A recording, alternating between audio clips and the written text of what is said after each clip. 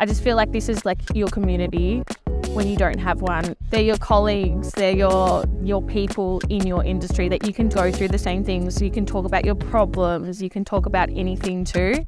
I've grown because of Interiors Insider, not just because I have more confidence. You believe in me, everyone believes in me, and it's just, yeah, a really, really helpful place to be.